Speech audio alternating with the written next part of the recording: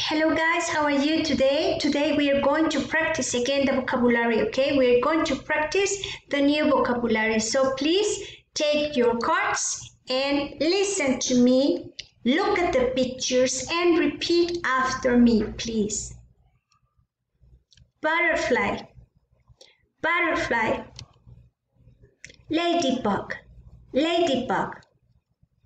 Bee, bee ant, ant, fly, fly, wings, wings, antennae, antennae, caterpillar, caterpillar, chrysalis, chrysalis, insects, insects. Now, let me show you a new way to practice with your flashcards. Déjame ahora enseñarte una manera nueva de, practicar con tus tarjetas. Revisa por favor la estructura de lo que vamos a utilizar. Vamos a utilizar el auxiliar tú en das. Tú en. Recuerda que el do se usa cuando estamos hablando de plural y el das de singular. Okay? For example, do butterflies do butterflies have six legs? Do butterflies have six legs? Las mariposas tienen seis patas. Checa que uso el do porque puse mariposas, butterflies. No utilicé una, utilicé varias. Do butterflies have six legs?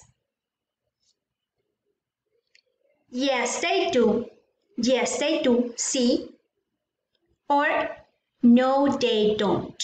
No, they don't. Okay? The next one. Do bees do bees have five eyes? Do bees have five eyes? Como puedes ver, utilizo nuevamente el do porque estoy hablando de bees, abejas. Do bees have five eyes? And the answers are yes, they do. Yes, they do. Or no, they don't. No, they don't. Okay? Now, the next examples. I'm going to use the auxiliary does. Does because I'm talking about one, one object, one insect. Does butterfly, just one, does butterfly have antennae? Does butterfly have antennae? Yes, it does. No, it doesn't. Yes, it does. Or no, it doesn't. Okay? The next one. Does bee, does bee have wings? Does a bee, does a bee have wings? Listen again. Does a butterfly have antennae? ¿Tiene una, una mariposa antenas? Yes, it does, or no, it doesn't.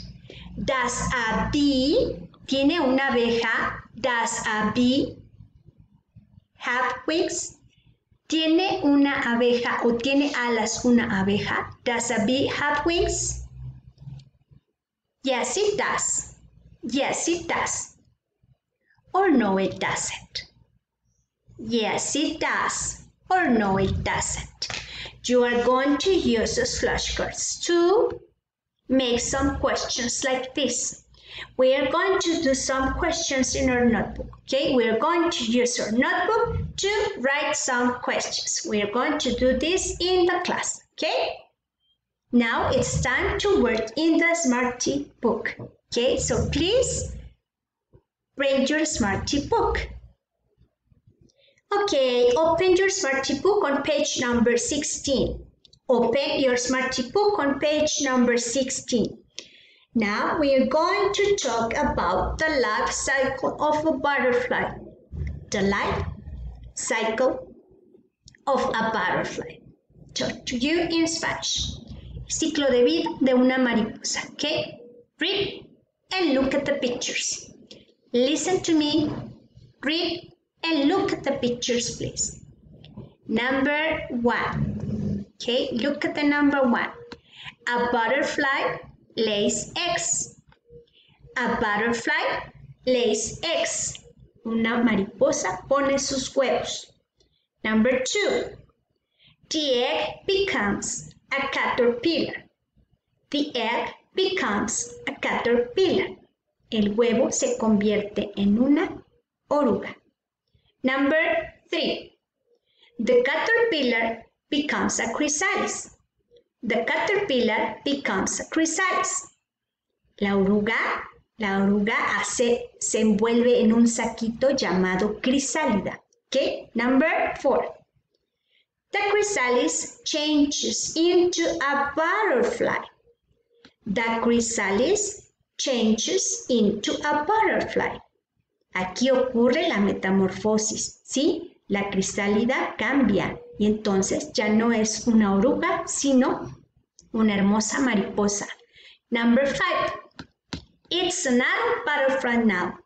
It's an adult butterfly now. Adult. Ahora se convierte la mariposa en un adulto. Okay? What are you going to do now?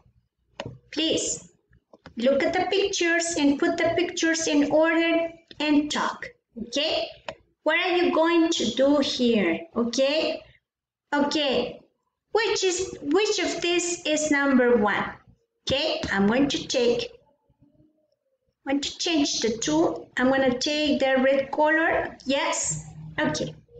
Which picture of this is number one? Is the egg. Which is the egg? Yes, this is the number one. Okay, number two says the caterpillar becomes a caterpillar. Where is a caterpillar? Yes, this is a caterpillar. Number three, a chrysalis. Where is a chrysalis? Yes, this is a number three, a chrysalis. Then the chrysalis becomes to a caterpillar, right? This is the number four. And the last one, this is an adult butterfly. This is an adult butterfly. Yes, this is the number five. Okay, now let's go to page number 17. Okay, what are we going to do here? Fly away, fly. We're going to listen. We're going to listen the audio. Just listen to the audio. Let me resize this. Okay. Fly away, fly. Okay, listen. Let me let me check. let me play the yeah the audio for you. Okay. Just listen and look at the pictures, okay? Listen. Track 11. Look and listen. There is orange juice on the table. There is fruit on the table. The boy isn't eating now. He's playing. The flies can smell the food and drink. They are flying to it. Oh no, they are eating the food. Remember, flies can make people sick. Put your food in the fridge. Okay. We are going to listen one more time and you're going to write the correct numbers in the pictures, okay? Just write the correct numbers in the pictures. Listen. Look and listen. There's orange juice on the table. There is fruit on the table. The boy isn't eating now. He's playing. The flies can smell the food and drink. They are flying to it. Oh no, they are eating the food. Remember, flies can make people sick.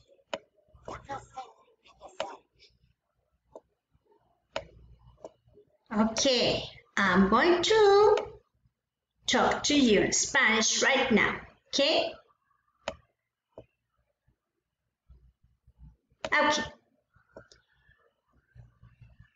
There, there's orange juice on the table. Orange juice on the table. There are some fruit on the table. There are some fruit on the table. Number two, the boy is not eating. The boy is not eating. He is playing. Then flies comes to the fruit and start to smelling the fruit. Hay jugo de naranja y fruta en la mesa. El chico no está comiendo, está jugando. De repente las moscas comienzan a oler la comida y el jugo. ¿Ok? He noticed that. Y él se da cuenta de esto. The audio says, remember, flies can make people sick. Recuerda, las moscas pueden hacer que te enfermes. So, please, please put the food in the fridge. Trata de poner los alimentos dentro del refrigerador. Okay? Now, we're going to choose a correct option. What is the food? Number one, what is the food? In the yard or in the kitchen? In the yard or in the kitchen? What is the food? The food is in the yard, okay? In the yard. In the yard. Uh-oh, I'm sorry for that. I'm sorry for that. Let me change the tool. I'm gonna make some circles, right? So I'm gonna take the red color. That's better, okay?